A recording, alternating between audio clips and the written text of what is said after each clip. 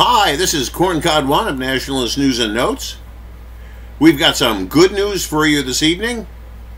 Uh, Nationalist Greek Party makes big gains in Cyprus. Elam, also known as the National Popular Front, made big gains in the Greek Cypriot elections held on Sunday.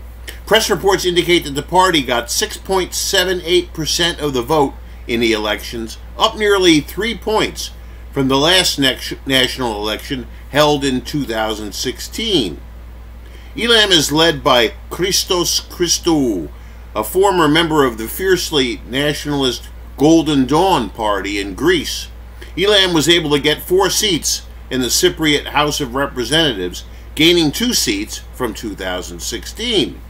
The party is strongly anti immigration. They also want to eliminate all globalist propaganda in the school system. In 2019, the party advocated for a bill banning the wearing of Muslim headgear in public areas, including schools. Elam considers the heavily persecuted Greek Golden Dawn Party as a brother movement. The party also has some representation on the local government level.